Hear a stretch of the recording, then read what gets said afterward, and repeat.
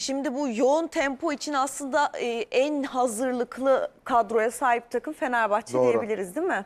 Doğru ama şöyle e, teoride doğruydu, pratikte olmadı. Olmadı. Sergen Yalçın ve Fatih Hoca nasıl rotasyon arttırdıysa, Sergen Hoca işte o 8 eksikli Başakşehir maçı, Montero'yu kazandı, Necip'i kazandı.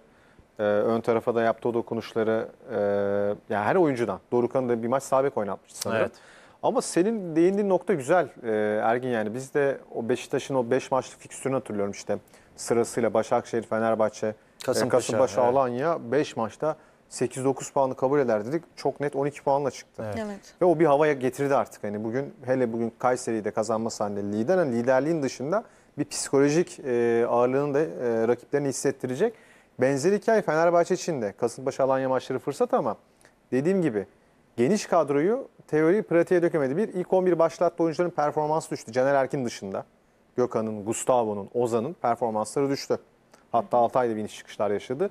Artı işte ilk 11 o transferleri e, yatırım anlamında Novak, Mert Hakan. Bu oyuncuları da rotasyona kattığı zaman ben Başakşehir attığı gole rağmen Mert Hakan'ı beğenmedim onu söyleyeyim. Fiziksel olarak o temposu bence büyük takıma uygun değil şu an. E, Tiam'ın zaten bende ciddi soru işaretleri vardı. E, yani Kasımpaşa e, performans çok ölçü olamaz büyük takım için.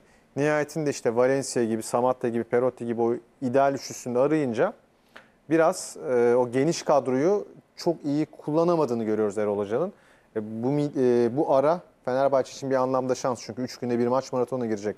Toparlaması gerek. Ben açık söyleyeyim e, sistem değişikliği. Hani benim kafamda Fenerbahçe nasıl iyi oynar ben öyle o cevabı bulabiliyorum.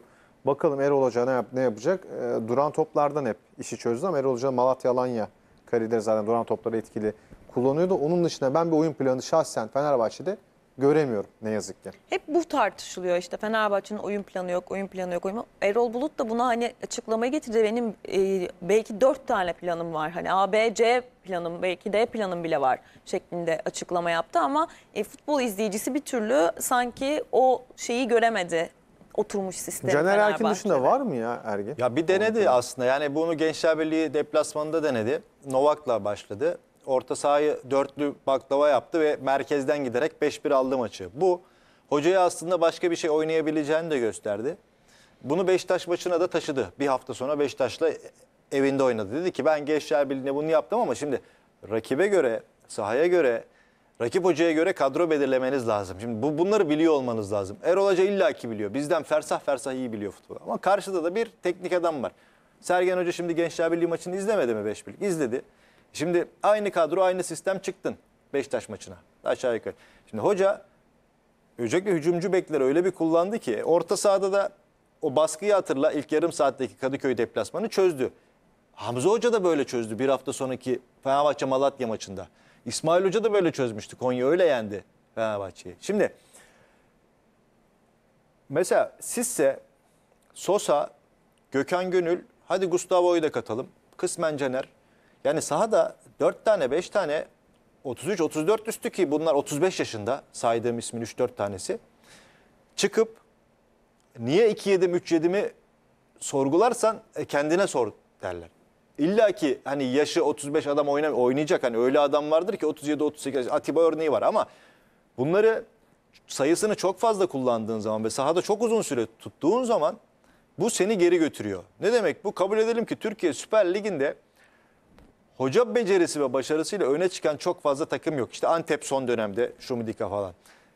Anadolu takımlarının en önemli özelliği teknik taktik ve yetenekten ziyade bir oyun aklından ziyade ortaya fizik güç ve kondisyon koyarak, güç koyarak, omuz koyarak bir skor almaya yönelik bir oyun oynanıyor. Hal böyle olunca siz 35 yaş üstü, 35 yaş bareminde 3-4 tane oyuncuyla sahaya çıktığınız zaman zaten oyunun genelinde fizik olarak oyunu kaptırmama gibi bir lüksünüz yok. Böyle durumlarda bireysel performans çıkacak işte. Bir yıldızınız olacak. Perotti vuracak çatala.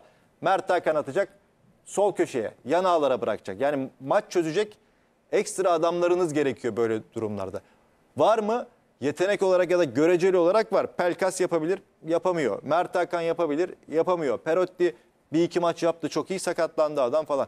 Şimdi hem bireysel olarak oyuncular sıyrılamıyor araya hem de takım olarak performans fizik olarak geri gittiğiniz zaman bir de bunun üzerine derbi mağlubiyetten sonra mental olarak çöktünüz. İster istemez kötü gitti işler. Ama bak kötü bir tablo çizdiğim gibi asla Fenerbahçe için kaybedilmiş bir şey yok. Bir kere bunu kabul edecek. Sezon içerisinde bunlar yaşanır. Yol yürüyorsun 40 hafta. İlla ki düşeceksin, kötü dönemler yaşayacaksın, kaybedeceksin üst üste. Bunlar olacak. Mesele bunları yaşanırken e, yarını, öbür günü görüp ona göre hareket edebilmek. Mental olarak oyuncuları yukarıda tutabilmek, fizik olarak yukarıda tutabilmek. E, Fenerbahçe'nin bu potansiyeli var. Bu kulübesi de var, bu sahası da var.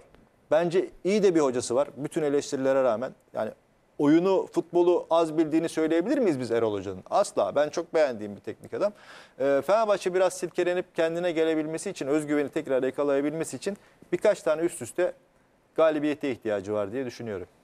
Şimdi sana şu soruyla döneceğim. Ee, savunmasıyla ilgili Fenerbahçe'nin sence Kasımpaşa maçı özelinde soruyorum. Lemos Tisseran mı yoksa Sadık Tisseran mı oynatırsın? Sen olsan. Lemos sakatlıktan döndü. Evet. Çalıştı ama e, Sadık Tisserant Malatya maçında oynamıştı. Devrede Sadık oyundan çıktı mesela. Biraz ihale Sadık'a kaldı orada. Evet. Lemos Tisserant mecburen. E, şu an o. Ama hani Serdar Aziz'in... Serdar varken formayı vermez diyorsun. Ben Serdar'ın Lemos'tan daha iyi bir stoper olduğunu düşünüyorum. Serdar'ın sıkıntısı e, devamlık problemi arada oyun içi agresifliğiyle o gördüğü kartlar. Ama savunmaya bence Fenerbahçe'nin ara transferi biz Galatasaray ve Trabzonspor, e, Trabzonspor kadar konuşmuyoruz Fenerbahçe özelinde ama bence devre arası çok net bir stoper takviyesine ihtiyaçları var. Yani yapılan 18 transfere rağmen oraya çok daha net bir stoper. Örnek verelim geçmişinde Fenerbahçe'nin fazlasıyla var hani Lugano'lar, Bruno Alves'ler, Edu'lar, Kayer, e, Kayer Evet. keza. Kişkirtel'de aslında yine. Dediğin doğru yani daha sayılabilir. A sınıfı oyuncular diyebiliriz. Oradaki o düşüş çünkü e, kalenizde de bir Mustera yok. Evet Altay var ama Altay daha gelişime açık bir kaleci. Geçen seneki performansını ben çok beğendim. Bu sene iyi Altay yani. E, Fenerbahçe'nin Türk kaleci geleneği adına güzel işte Engin, Rüştü, Volkan devam ediyor. E, bakalım hani ben dediğim gibi ideal bir 11'e yaptığımız zaman hep Caner üzerinden okuyoruz e, Fenerbahçe Ergin. Caner de bu arada bence iyi oynuyor onu söyleyeyim. Hani e, bu kadar top kullanılır mı diyoruz ama sorumluluk almayan olduktan sonra Caner Beşiktaş'ta bu topları e, kullanıyordu. Sorumluluk alan bir oyuncu. E, ön tarafta Samatta'nın da ben dönüşünü merakla bekliyorum. Acaba 11 oynatır mı Erol Hoca? Çünkü sakatlığı bitti artık Samatta'nın. Bu maçta riske edilir mi ya da bekletilir mi? Sama, Sisse, Samatta'nın yokluğunda o çok bana Sisse biraz daha hani kulübe golcüsü. Semih Şentürk gibi Evet. 60'tan sonra oyuna gelip Öne geçilen maçların golcüsü gibi değil mi? Atletik Yani gider 15 diye biri. şimdi e, Erol Hoca'yı eleştirmek için demiyorum Ergen ama 15 haftayı gözümde canlandırıyorum. Trabzon maçı, Sosa çıktı, Sisse girdi. Onun dışı öyle hani kulüp hamlesiyle değişen maç. Evet. Bir de Perotti sanki Antalya'da sonradan mı girip Evet. penaltı Perotti, almıştı. evet.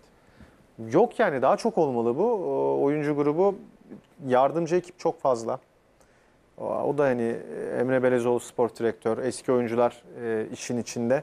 Hani bu da hocanın karizmasıyla ilgili olumsuz değil mi? Fatih Terim'in olduğu yerde de evet çok isim var ama hani orada bir Fatih Terim ağırlığı var. Ben aynısını şahsen hani ben kendi adıma söyleyeyim. Gaziantep'te o atılan golden sonra gol atıyorsunuz 1-1 oluyor. Kulübede oyuncunuz geliyor Mert Hakan. Siz de değil tribünle konuşuyor. Olmaz yani hoş görüntü değil bence bunlar. Ee, muhtemelen orada Emre Belezoğlu bir diyaloğa girdi. Ee, Mert Hakan sağ kenara. Muhakkak senin de dikkatini çekmiş Evet evet görüntü. gördüm. Hatta Caner oyuna girerken hocayla böyle bir mesafesi de dikkatimi Ben çekti Caner'in şeyine de çok gülüyorum yalnız Ergin. Isınmıyor kenarda maçı izliyor mesela.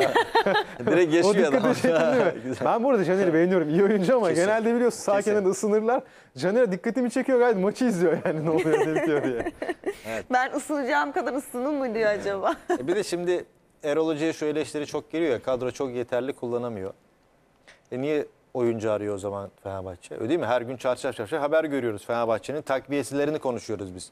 ya sanki hani savunmada, stoperde Ha. e, yaptığı transferin Tisseran için söylemeyeceğim ama Lemos çok eleştiriliyor. E Peki o zaman sorumluluğu bölüştürelim Melike. Şimdi transferi yapan kim? Transferlerin başında kim? Emre, Emre. Emre. Belezoğlu. Şimdi niye o zaman bütün oklarda herkes Erol Hoca'nın üstüne çullanıyor? Bu, burada bir takım oyunu var. Futbol Tabii. oynuyoruz. Burada işler kötü gidiyorsa herhalde denklemden çıkartabileceğimiz en masum adam Ali Koç olur burada. Çünkü niye? Dedi ki tamam kardeşim ne istiyorsanız hadi bu sene kesin olmamız lazım. Masaya koydu parayı. Bunun üzerine bir takım kurdular. Şimdi daha burada Ali Koç olarak daha bir şey yapamazsınız. İstenilen oyuncuları aldınız. Burada profesyonel olarak Emre Belözoğlu ve Erol Bulut da artık top.